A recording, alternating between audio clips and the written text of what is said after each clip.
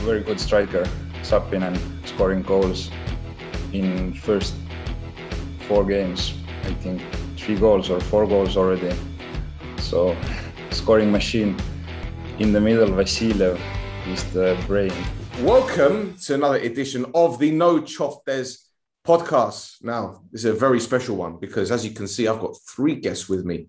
This is a preview of our match against Flora Tallinn, a club which I know nothing about. I'm sure you guys watching don't know too much about. I've got three experts. First of all, Trevor Elhi, professional footballer in Estonia. His club are top of the league at the moment, ahead of Flora Tallinn. Trevor, welcome to Shahidin. Hey, I'm doing good. Thanks for the invitation. And thanks for joining us. I know it's 10 o'clock in Estonia at the moment, so we're not going to take up too much of your time. You probably had training today or something. Yeah, in the morning. There you go. He's waited all day to be on this podcast. So we we appreciate your time there, Trevor. Thank you very much for joining us. And um, my guests here, I don't know how you're watching it, but at the moment they're below me. Brothers Nate and Reese from the Estonian Football Podcast. Nate, I'm going to call you Nathan. I'm going to call you Nathan. I'm sorry. I've got, I've got, I've got a habit of calling my friends Nate that are Nathan. So sorry, my bad. But um, how you guys doing? You good? Yeah, all Yeah, good. not bad. Yeah. Thanks for joining us, man. Really appreciate it. So, let, let without further ado, let's talk about Flora Tallinn. Um, a side who got knocked out of the Champions League qualifier, if I'm not mistaken, same as us, lost to uh, uh, Legia Warsaw, who we beat last season in the in the qualifiers. So, um, yeah, what what what do I need to know as an Omonia support? What do I need to know about uh, Flora Tallinn? Anyone can start. I don't mind. Educate me, please. Uh, I'll, I'll go. Um, I, I I like Flora personally. Um, I think. Sorry, Trevor, but I think they are the best side in Estonia. Um, they, they are currently unbeaten so far in the league. Do have two games in hand on Levadia, and I think they will finish the season unbeaten. Um, as far as Europe goes, um, they are getting better. They were only one game away last year from um, Europa League group stage, um, which would have been huge for Estonian football. Um, they did lose to Dynamo Zagreb, I think it was, which was obviously only one leg because of COVID, and you know, so you could say disadvantaged a bit. Um, And they knocked But us out of the Champions League, ironically. yeah. um, but yeah, I think that they're slowly getting better in Europe. They've got the, the foundation of of the players, you know, Sappinen up front, natural goal scorer, get goals. I thought they were very unlucky against Legia Warsaw as well. Um, they, they could have easily come away with that with a win and, you know, pro- progress further in the Champions League. Brilliant. Reese, what you got? Yeah, I agree. I think um, there's just a few tweaks maybe needed for an Estonian team to get into a European group stage. Um, I think the Conference League is probably one of the best things that could have happened for countries like Estonia, uh, Cyprus. Um, it gives them a chance to compete in Europe. Um, uh, whoever wins this one, the guaranteed group stage for something, whether it is the Europa League or the Conference League. So I think Flora have got a really good chance, especially now it's back to two legs. Uh, fans are allowed back in. So, as you see in European games as well, whoever's the home team has a massive advantage.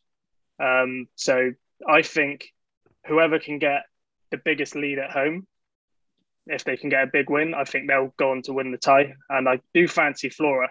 We had a look at some um, betting markets before we came on and uh, are clear favourites, um, which we thought was a little bit tight. Uh, we think Flora can definitely give them a good run for their money. Uh, they've, yeah, as we said, they got a good spine. They've had some players that have played in Europe before um, for European teams, so they're not. I think a lot of people see Estonian teams and automatically write them off because they've never been in like European group stages before. But teams like Flora, even Levadia, when they were lu- unlucky against Dundalk, uh, they're not far away from getting it. I think it either this year might be a bit too much to ask, but next season for sure. I think if Flora can keep their team together, they can definitely get into some group stage. Brilliant. So, Trevor, based on your experience playing against Flora, who are the players? to look out for? What system should we expect to see? Uh, well, Flora has a very good striker, Sappinen, scoring goals in first four games. I think three goals or four goals already. So scoring machine. In the middle, Vassiljev, he's the brain. Without him, I don't know how Flora will play without him, but but at the moment he's playing and he's like Estonian maestro. his, his, I, will, I will add to that. His legs just don't stop. He's nearly 37 years old. And yeah, he's you, just, he's an engine.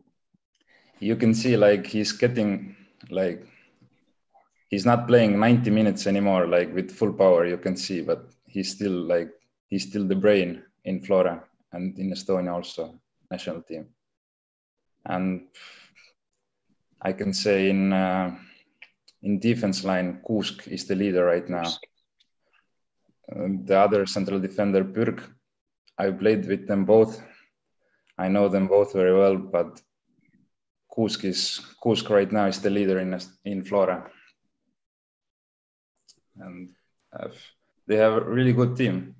Like they've been playing together for like three, four years already, almost same team every year. That's why they they've been winning also. But I cannot I cannot agree with you about this year. That there will be like very, very close Levadia Flora, but hopefully we will win. well, see, this is it. Just for those viewing, Flora are the reigning champions and they're second in the table. Uh, and uh, Trevor plays for Levadia, the team that's top of the league, who are six points ahead.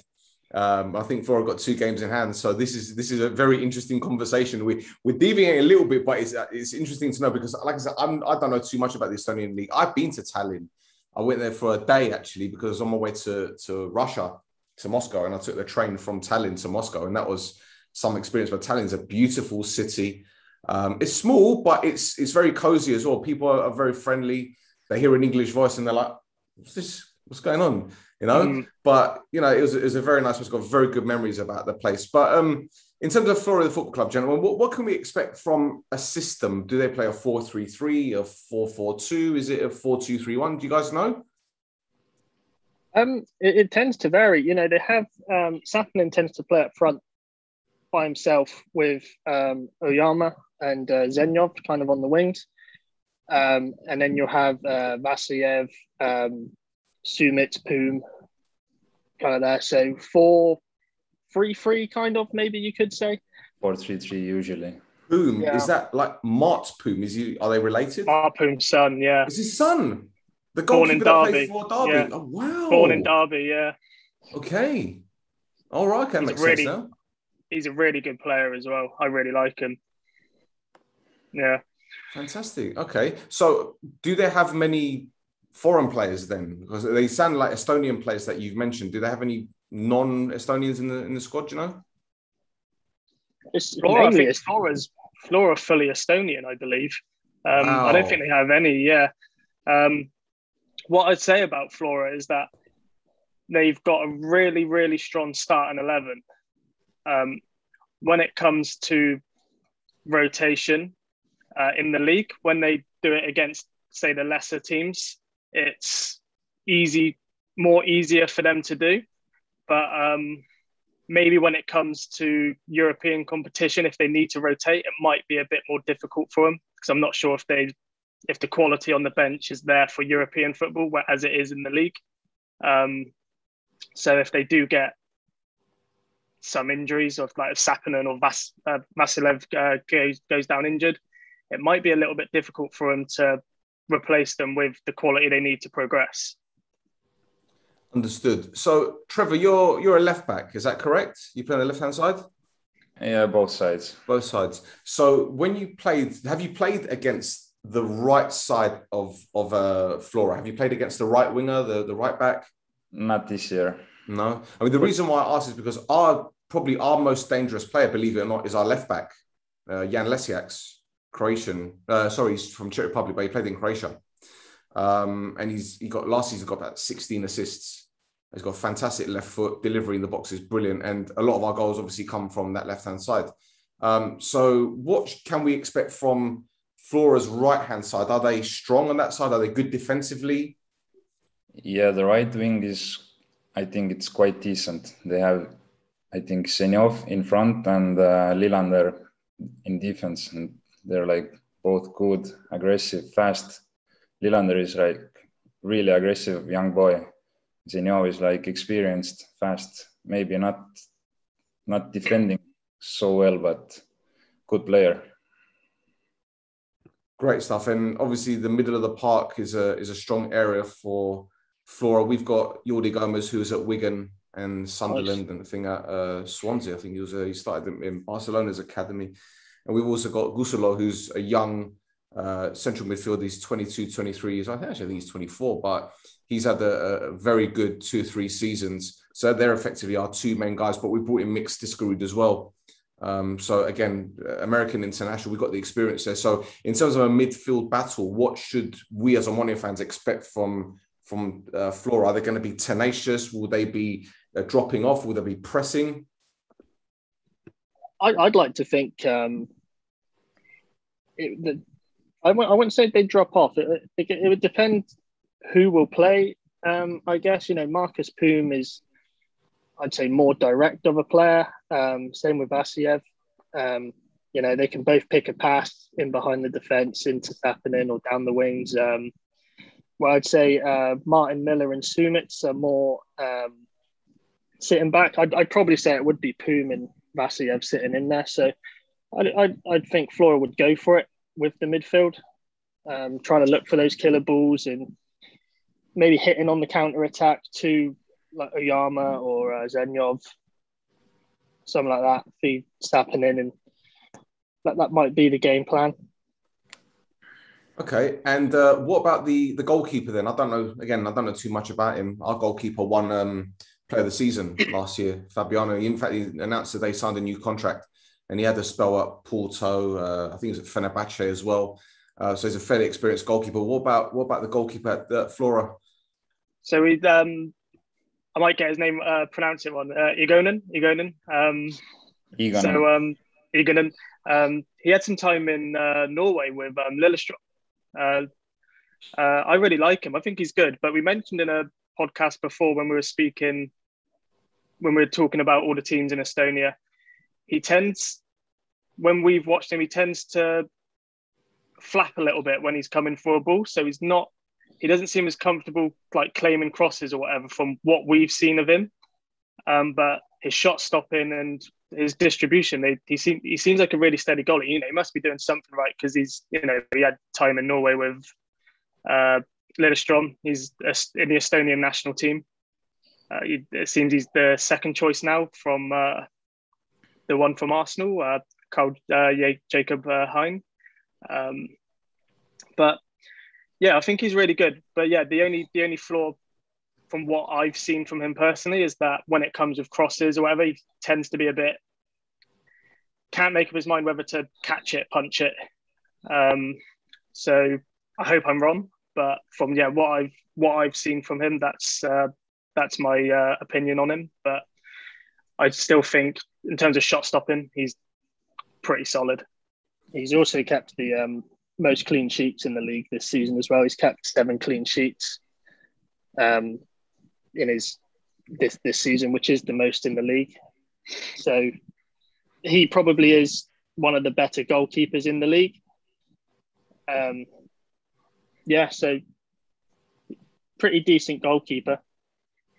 Was it the thing is, um, you know, we've we've faced some pretty decent goalkeepers over the past couple of seasons, especially in Europe. We got we were lucky to be in the Europa League last season, and you know we faced PSV Eindhoven, we faced uh, faced PAOK Salonika, um, Granada, decent teams. But the problem that we had last season, I'd say, not just the inexperience in Europe, not the energy levels and the concentration, but I think we didn't take our chances. And at this level, be it you know Europa League, Champions League, you need to take your chances because you'll be punished it's not as if in the in the domestic league in Cyprus we can create six or seven opportunities a game, and we might not score any of them, but we know second half we'll get another five or six. It's not like that in Europe. So against the likes of uh, Flora, who are going to be a, a, difficult side. You know, we expect them to, to sit back and try and hit us on the counter attack because a lot of teams do that against us, um, especially when we're the favourites going into these games. But then again, as I said, because this club is is fairly new to me, I don't know too much about them. You mentioned the, the danger men. So I'm thinking, wow, are they are they going to be on the front foot against us? I don't know. This is going to be a very interesting one for me, anyway. I, will so add something. They, they have um, faced Cypriot opposition before in 2018. Oh yeah. Um, against was it Apoel? Apoel, yeah. We don't yeah. talk about them. Yeah. um, we don't talk actually, about them. Flora actually beat them two 0 Oh really? Um, okay. Well, at, we can talk about home. that game if you want. um, and then they, they got thumped five 0 away from home. So. Fuck's sake. Trevor, what kind of system should we expect then? Because the first leg is in Cyprus. I think it's a it's a seven o'clock kickoff in Cyprus. It's still going to be about thirty degrees. Um, right now during the day, it's about forty, so it's going to be quite humid. What's the, what do you think the game plan is going to be? Thirty degree here at seven p.m. Probably they they will start like easy. I think because we've had like two months also like 30 degrees here, but it's not the same like in Cyprus, you know they have to be like smart. They have to play smart, not to run too much. But uh, I really don't know. I probably they will fall back and wait for counterattacks because they have like really fast wingers and good striker. Well, this is it. I think that's the system that we're used to teams playing against us, and we te- we've tend to struggle against clubs that are very quick on the counter, a lot of pace because granted our our fullbacks like to get forward. Shehu, Nigerian international, is very quick. Um, Lecjaks, again, Czech Republic, left back, very quick, but he gets forward quite a bit. So at least our two central defenders. And since Lüftner left us to go back to Copenhagen, he's now at Videoton. We've got Adam Lang, who's a Hungarian international, and uh, Thomas Hubočan, who's for the Slovakian national team. But the thing is, Hubočan is 35, 36. Lang is 30, but he's obviously not as rapid or pacey as we'd like him to be. So I think that will be a problem for us. Um, but again, I think this is a kind of game where, as Trevor said, it's going to be very important for, for the players to conserve their energy because the humidity, the heat, it, it, will, it, it will sap it, it will sap their energy out of them. So I think both teams are going to be very, very cautious. But can you guys tell me about this manager? Because I read somewhere that he's 34, 35 years old. Is that correct? Yeah. Head coach. Um, yeah, he's been there a few years. It's hard. I've I've tried doing some research on him before, but um, it's hard to find stuff about him. Um, if you go on Wikipedia and you search Jurgen Henn, it, put, it takes you to a bridge in the United States. So, so it's hard to unless you go on I've had a look at transfer. Yeah, but he's very young. Um, been there a few years. Obviously, won league titles. Very, very attacking manager. So it's all good. Trevor, what do you know about him then, mate? Because as I said, 34 years old. I mean, let's be honest, it's not a new thing to have a young manager. Many clubs have young managers, but for him to be so successful at such a young age in that league, it must tell you something about how good he is yeah, I think he's like new school coach, you can say, young coach, really like I don't know. He he's good with players. You can you can see that he's like the players are mentally also like in good shape. They are trusting him, and there's like harmony in Flora. I don't know why. I don't know how. Like already many years, and that's why they've been winning and their coaching staff like the second coach i played with him. He's nine, 29 or 28 head coach 40 34 so like all the young guys it's like different. Same in Levadia right now actually. We have also like quite young coaching staff. But today we're talking about flora. So but I, I guess in estonia it's like it's new thing many many teams are getting younger coaches. Do you think that's because um, the nation they're trying to develop players because they know that there are going to be clubs around Europe wanting to see these players and sign them. For example, maybe in Russia, maybe in in Romania, maybe in, in other countries in, in Eastern Europe that look at these players and they think, wow, they're being developed by young coaches because they have a new mentality, as you said, a new way of thinking. Yeah, that's possible. The, they're they're trying new new things. They're they have sports director who's like really professional guy. Maybe many people in Estonia doesn't like him, but he's really trying to do something new. And I think it's right now maybe it's working. Fair enough. Well, look, um, one more question with regards to uh, their, their system. You mentioned the goalkeeper it was uh, Reese. You think he might yeah. be a bit of a flappy goalkeeper. What do you think their main weakness is? Do they have a main weakness that you think? Mm, I don't know if they face a face a team with that kind of ability, they'll destroy them. Um, for me, I'd say I think they've got like a they've got a really good spine. Uh, so do you mean so they got you know Sappinen, uh, Vassiljev, Kuusk, and then Igonen in goal. Um, so that's like the main backbone for them. Um, maybe they've got the tendency to switch off late in games. Um, I've noticed that for them, like in Estonian football in general, it seems late on in games is when a lot of goals occur. Um, so yeah, I'd say maybe the last 15 minutes, if say it's nil nil, um, Omonia might want to start, you know, peppering the goal with some shots because it might be the best time for him. Flora might be a bit tired. Um, I'm not sure how the intensity of Omonia are, or um, obviously Flora, their full time team um, as well, but tiredness can play an effect. Um, but yeah, the, the tendency to switch off, um, especially if Flora score first, the five minutes after that is the perfect time for Omonia to attack them instead of trying to just regroup and get a feel for the ball. If I was Omonia, I'd go for it and just get the ball into the box because that would be the best time for them to score. Brilliant. It's, well, I will add to that. Sorry, it's it's hard to pick a weakness. Um, you know, for Flora when they're so dominant, you know, in the league.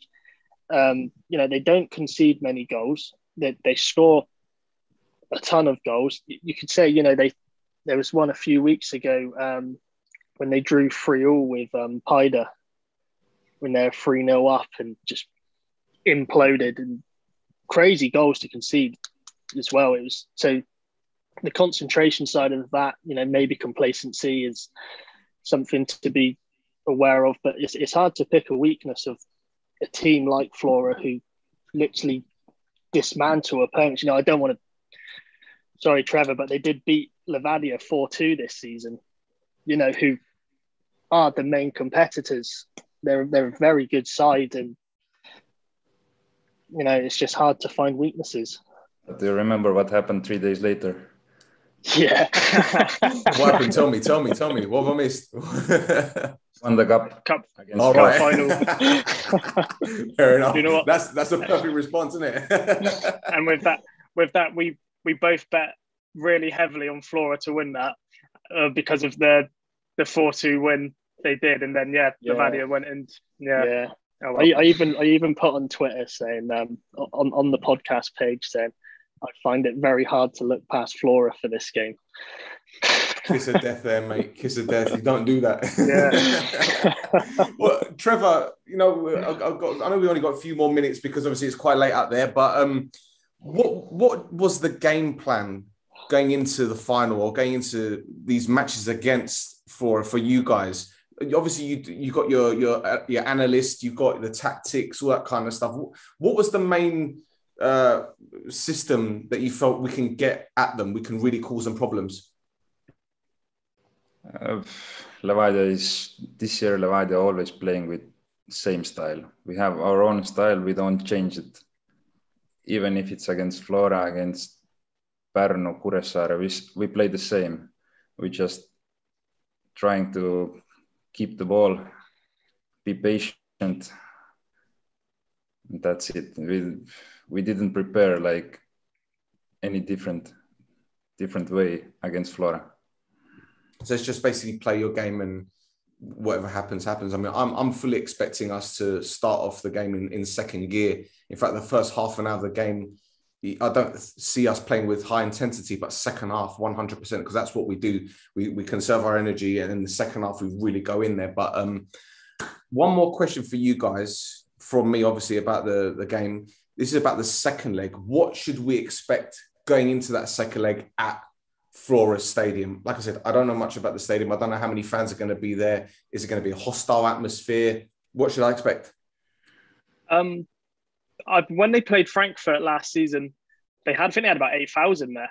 Um, so, uh, COVID permitting, I'm not sure uh, quite what the restrictions are now uh, in Estonia for fans. Um, but yeah, I think if they can get close to 8,000, I reckon they could get a good atmosphere going. Even when um, now there's three, 400 people there, yeah. they, um, they can get a good atmosphere going. And this, I'm not sure how big the stadium is, about 15,000.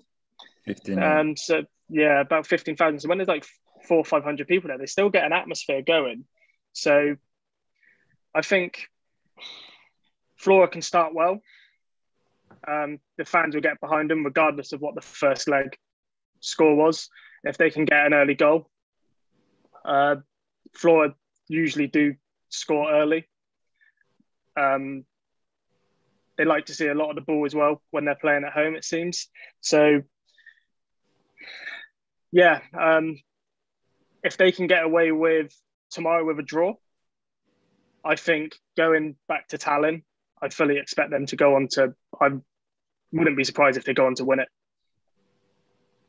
There we go. Nathan? I agree. Yeah. Like you were saying, even the atmospheres now, especially in um, Pärnu,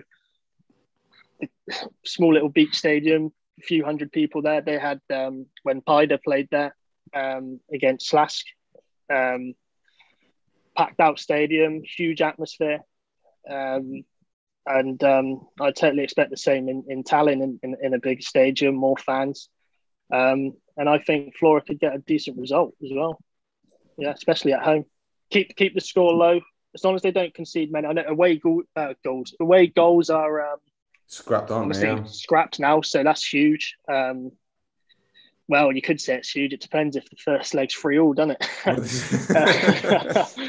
but um, yeah, keep keep the score low. Um, try get a goal, and I think at home, yeah, I agree with with Reese Flora I think I, I would fancy Flora at home. Trevor, what's your take on this? What do you think is going to happen? You have a prediction?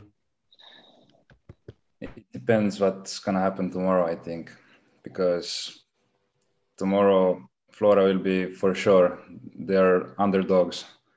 So if they can keep like good score like 0 0, 0 1 in Tallinn, everything can happen. But if they lose first game big, I think it's over. But I think they will not let in too many goals because it's a good team. They played very well against Legia. There was a chance to go through this this game. Ref didn't give the penalty and Legia scored from counter attack. So unlucky. Everything can happen tomorrow. Absolutely, and uh, this is a, a, very intriguing game for me, as I said, because prior to this, I didn't know too much about Flora, and it's been absolutely great to talk to all three three of you. Thank you so much for joining us, and thank you, uh, Trevor, for for jumping on. I know it's quite late out there, and uh, you know, you professional footballers, you need your beauty sleep, you know. We do too, as well. Oh, you do as well. Okay, I, I, need it more than anyone. Look at me, for fuck's sake. Anyway, gentlemen, before I let you guys go, is anything that you want to plug? Any social media? Anything you want to promote? Yeah, just follow us on Twitter, um, Estonian uh, FBP. Um, listen to our podcasts. Uh, we're on Instagram as well, same handle.